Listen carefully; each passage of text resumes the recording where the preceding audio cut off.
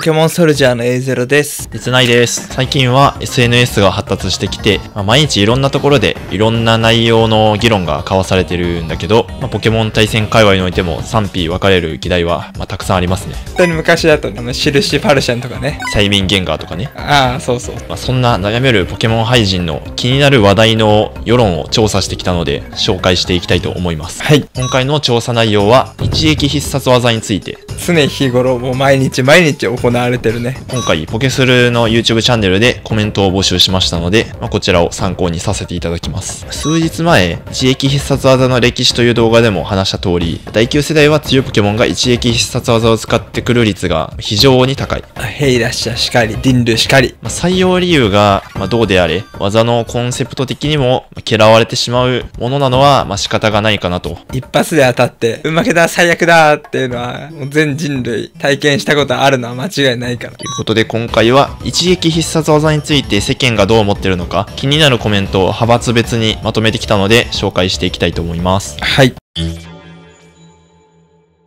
まずは否定派。これが大多数になるんじゃないかなと思ってコメント見てたんだけど、意外とそんなことなくて、全体のまあ20%もいなかったんじゃないかな。あくまでね、このポケソルのコミュニティを見てコメント書いてくれる人の中でっていうことだから、まあポケモン界隈全体の割合ではないっていうのは頭に入れといてほしいところではあるけど、まあ、今回募集した中だと、まあ、そこまで多くなかったっていう印象だね。耐久ポケの遂行速度が上振れてしまうのがダメ。昔みたいにほぼ全てのポケモンが独特を覚えた時代と今はどっちのがいいんだろうか。いや、だいぶいい着眼点というか、耐久ポケがね、本来持ってない突破力を発揮してきたのは、独々ポリツとか独々ラッキーの時と、まあ一緒というか。今で言うと耐久ポケの遂行速度が上振れてしまうのがダメっていうと、まあ、ヘイラッシャの地割れのことを指してるのかなっていうのは特に思うんだけどへじゃあヘイラッシャが独々覚えてたら独々眠るみたいな方は絶対出てくるからね耐久高いヘイラシャとかディンルーが何遍も何遍も地割れ打ってきて確率的にしょうがないって納得するしかない環境と、もうどっからでも毒が飛んできて耐久ポケに詰まされるみたいなのだったら、どっちのがいいんだろうね？一撃必殺技って当ててしまえばその強い人弱い人関係なく勝ててしまうっていうのはあると思うんだけど独々って勝てる人が有利なね技だなっていう実感は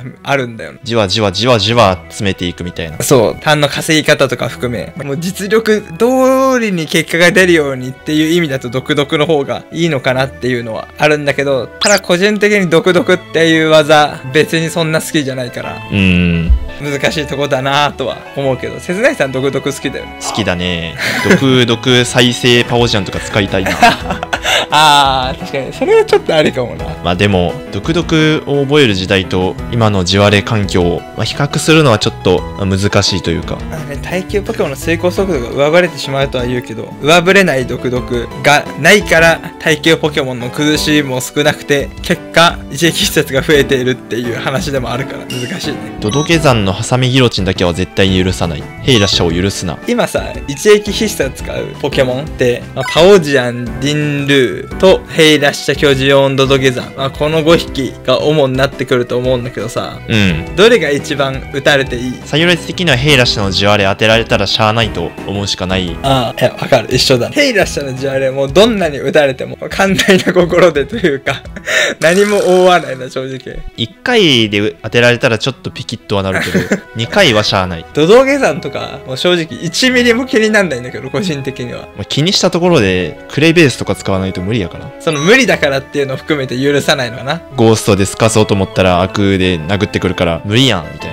個人的には使っても楽しくないし、使われても楽しくもない。詰ませに来る耐久型を飛ばせるって意見については、そもそも一撃に頼らなくても済むように調整してほしい。うんうん。一撃とか独特に頼らないといけないような硬いやつ出すなってことだね。ああ、なるほど。そっちに関しては、なんか、そういう受けみたいなポケモンもいた方が、ポケモンっていうゲームとして面白いかなって思う。まあでも天然ヘイラッシャは、まあ、ある意味正攻法じゃ倒すのは不可能なわけだから。まあ、そうだね。ヘイラッシャに天然を与えたののが悪だったのかもしれない。まあそのヘイラッシュが一撃技を覚えるんですけどうんそれもさらに悪なのかも。個人的にはなくなってもいいレベルで嫌い。公式が実装してるから使う人のことは何とも思わないけど、自分では絶対採用しない。おお自分ではいるよね。一撃絶対入れないああいるねもうなんか昔から命中不安を入れないみたいな人とかもいるからそのコンセプトはなんとなくわかるけど、でもヘイラッシャに地割れ入れないのはどうなの？ああヘイラッシュに地割れ入れないのさすがに良くない入れた方がいい釣りウェポンで A 振って、みたいなお盆ヘイラッシャの方あるけど、あそこまでするならいいけど、シーズン1とかシーズン2でヘイラッシュ使ってる時使ってた時は結構地割れ抜き使ってた、うん。全然困ってなかったけど。で今はめっちゃ地割れ入れたくなっちゃう。それはなぜ？対応しなきゃいけない範囲っていうのが広くなったっていうのが強いポケモンが増えて、うん。っていうのが原因の一つなのかなとは。ある意味、地荒れ1個入れるだけで対応範囲をぐっと広められる。相手に使われても何も思わないけど自分で採用しないっていうのは男だ。大人だね。自分のこだわりとか価値観を押し付けるでもなく、ただ自分の中で決めてる。自分にだけ押し付けてるじゃあ次、肯定派。初代からの技が未だに絶妙なバランスで成り立ってるのが好き。なるほどまあ、その絶妙なバランスが旧世代で崩壊したっていう話はあるかもね。過去世代と比べて打つ回数打たれる回数が増えているという事実はあるのかなと思うけどなんだかんだ最後まで勝負がわからなくなるから好き。これはそうなのか？むしろすぐ分かっちゃうんじゃないのか？どんだけ追い詰められても、ここを一発で当てたら勝ちや、みたいな。その終盤に起こる一撃必殺技はそうだね特にパオジャンの絶対レイドじゃないか？でもパウジャーの絶対レイドって最後の方に打つ使ったことないから分かんないいや、別にいつでも打つんですけど、最後にパオジャン出したら全部当ててワンチャンあるみたいな。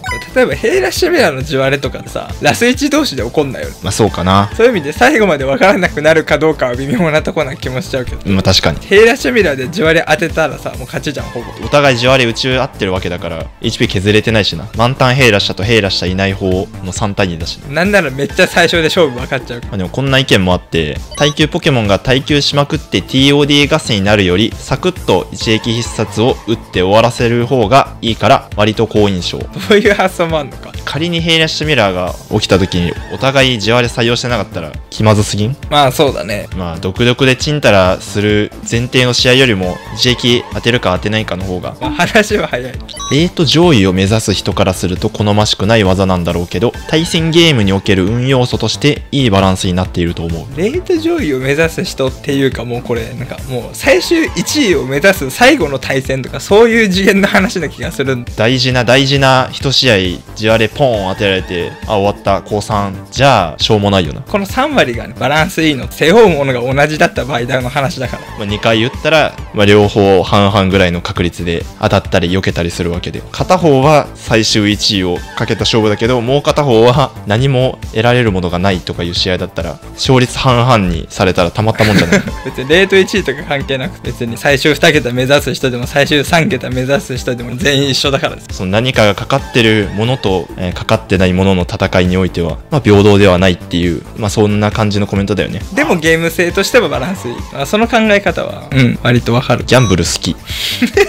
これ粗品？社交師まあギャンブル好きだから一撃ぶっ破するぜっていう人は上位プレイヤーではそんなに見られないが。一撃印刷入れようとしてる人もさ勝とうとして入れてるからね大体の。そのそうだね。ギャンブルしたくて入れてないから。ギャンブル性が高いのは間違いないが。コメントの一覧見てたら必要枠ってコメントが4連続で並んでたんだけど。多分受けが嫌いなんかな。でも必要枠っていうほどそんなに環境において大事なものだと思わないんだけど例えばサーフ GO は必要枠じゃん。おおなるほど。サーフ GO いなかったらどうなるかは全然想像できないけどでも一撃なくてもなんとかなんじゃねって。一撃印刷技一旦全部消して考えてみた時にと。だってさポケソレたまに特殊ルールで対戦するじゃん、うん。サーフ王がもしいなかったらっていう対戦ルールだったらちょっと企画としてありかなって思うけど地割れ禁止ルールってさ普通の対戦になると思う。そうだね。サーフ号禁止だったらなんか叫ぶ尻尾使ってみようかなとかね。受けループ考えてみようかなとかなるけど一撃禁止しましたっつってもうん。まあいつものパーティー使うかっつって終わりだもんね。次の意見が受けポケモンには配らない方がいい派。積みや耐久ポケモンへの対策になるので必要だと思ってます。ただヘイラッシュやリンルーみたいな試行回数を増やせる側のポケモンが覚えるのはちょっとというコメントなんですけれども。まあ積みって言ってもあれだよね。BD 上げる方の積み蓄えるどうとか、うんそうそういう方向性の話だと思う。過去世代遡っても強い一撃必殺技使いは基本的には試行回数増やせる側のポケモンだから。まあスイ君とかグライオンとか、うん、そう。アタッカーで一撃必殺技を持つっていう使い方は、まあ、もちろんあったけど、めちゃくちゃ強い使い方ではなかったから、一撃必殺技の性能的に仕方ないのかなとは思っちゃうけど、地域必殺使いこなすポケモンとしては試行回数を増やせないとそもそも使わないっていうかだって実際レイジューランドロスは地割れ全然使ってないわけだからまあドリューズは使うんだけどそう、ドリューズは使う。まあその2体に何が差あるって役割対象に一撃をいっぱい打てるかどうかであってレイジューランドはポリ2に1回しか地割れ打てないしね。そういうポケモンに覚えさせてしまった時点でそういうポケモンらが使う技だからね基本的に。配ってしまったものはしょうがない。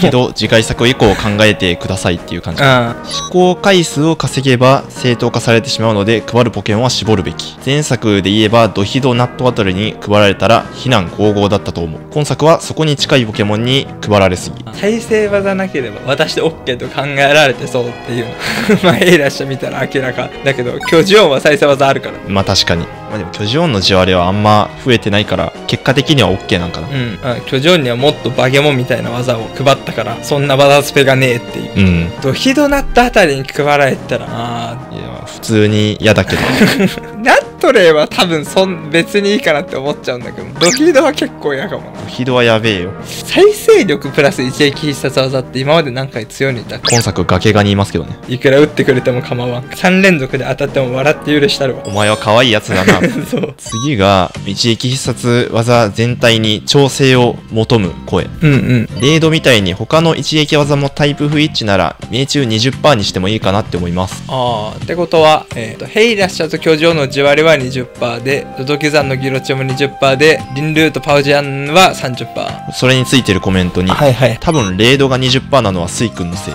うんそうだね。過去世代においてスイ君に絶対レードを採用した時と今の世代でドドゲザンとヘイラッシャに一撃技採用した時だったら今のが強いよね。まあそうだね、まあ、レイドスイ君より強いと考えてもまあ問題はないかな。今の環境を見て、まあタイプ不一致の一撃技は一律命中20%になるかもしれないよね。でもそうなった時さあれギロチンでたさノーマルタイプのやつなんていた？あー確かに。確かにいないかも。なんか悲しくね？角ドリルもなん誰かいるっけ？過去作配布のノコッチが使えるらしい。えそうなの？めっちゃ珍しいやつ。ん？え初めて聞いたんだけど金銀の海外だけで配布された卵で生まれるノコッチがドリルを覚えるえー、知らなかった。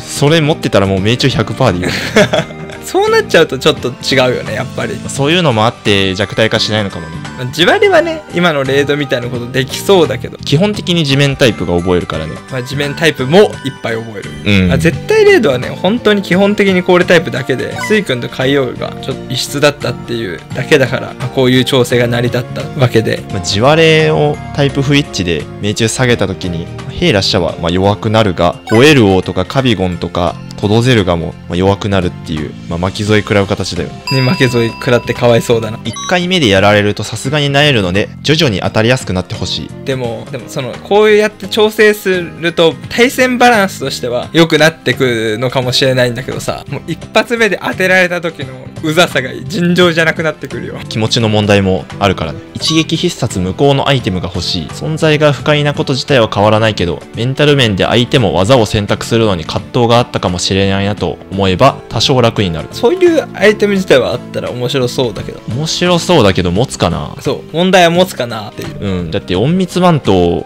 さ今主要で持ってるのがサーフ号ぐらいなことも考えるとこういう系統のアイテムってなかなか使われないんだよね。気合の鉢巻きにこれつの効果つけるとかだったらまだなるほど。今度は気合の鉢巻きの耐える効果が運ゲーで発動して怒る人いそう。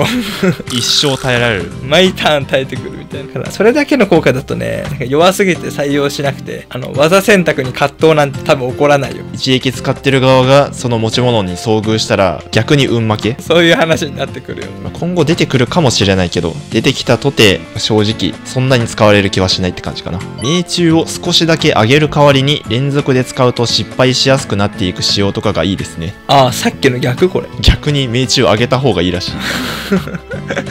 それはちょっと怖いかも。一発は命中50にして、うん。その後だんだん当たりづらくなっていく。503010101010みたいな。絶対違くね？それは多分違うな。電流ぐらい硬かったらまあ3回ぐらい JK 打てるかなと思うけど2回以上当たる確率めっちゃ高くね？とりあえずその一番一撃必殺のゲームバランスを壊す要因っていうのは1分の1当たることだと思うから。うん確かに。一旦打つっていう選択が一番勝率が高くなるのはまずい、うんそれはまずい。だって1回目が一番命中高いんだったらそれ採用してる以上1回打つくね？そう。でこんなコメントもあって命中は30から50に上げてほしい。これもう一撃採用しないやつバカじゃね？パオジアン最強やん。多分ね命中50%だったらねスカーフパオジャンのレード連打ねもうた立ち回りとしてね正しいような気がしてくる。めっちゃ耐久振ってスカーフにして。50はやばいさすがに。これはちょっとおおふざけかな、うん多分うんネタコメであってほしい。40でも強いけどね。壊れない中の最低ラインが30とかまあ333分の1とかが限度だと思うけどな。使う気にもなるしまあ使われても、まあ、ギリ許せるかぐらいのラインな気がするなコメントの中にはもう一撃愛好家もいて一撃必殺を当てるためにポケモンやってる節がある。負けた時に言い訳に使えるから好き。なんか1個目はもうポケモンじゃなくていいけどなって思っちゃうけど。うん確かに。負けた時言い訳っていうのはなんか今流行ってるゲームのらしさがあるというか。味方弱すぎだろみたいな。ああそうそうそう。考え方としては。まあそういう発想の人もいるのかな。わかるけど。ポケモン対戦は1対1だから負けたら自分が悪いから。そう全部自分が悪いからというわけで一撃必殺技について皆さんがどう思っているのか調査した結果を紹介していきました。実際問題自分はどう思ってる？いや別に全然あっていいなっていうのは思うけど途中で話したけどかけてるものが違う時に打たれて萎えるのはそりゃそうだよなっていうのもわかる。うんまあ確かに。逆にさ世界大会決勝とかでさ打たれる一撃技とかさあの背負ってるもの同じやん。まあ確かにね。そうだから3割っていう確率？うん。はなんかちょうどいいというかゲバランゲームバランスとしてもう別に壊れてないと思うからめちゃくちゃ熱いと思うんだけど。確かに、まあ、ランクマッチっていうシステムにおいては、まあ、嫌われても仕方ないものなのかなっていう。まあでも最終日以外当たっててもねって思っちゃうけどまあまあ。そう思わない人は無限にいるのはまあそれは理解してるつもり。で一撃必殺の存在で何かがかかるところまでたどり着けない。そもそも心が折れるっていう人もいるだろうから若い目を摘む要因になってるのは 間違いないな。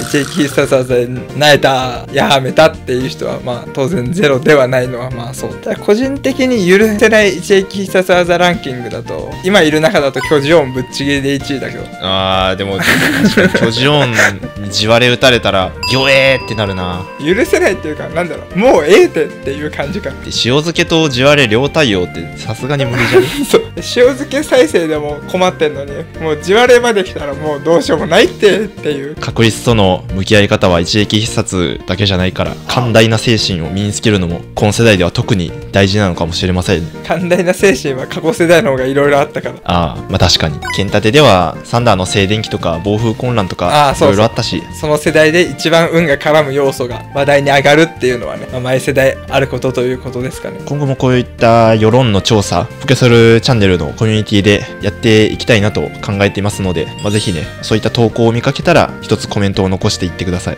よろしくお願いします。これからもポケモン対戦がより楽しくなる動画をアップしていきますのでチャンネル登録高評価をよろしくお願いします。お願いします。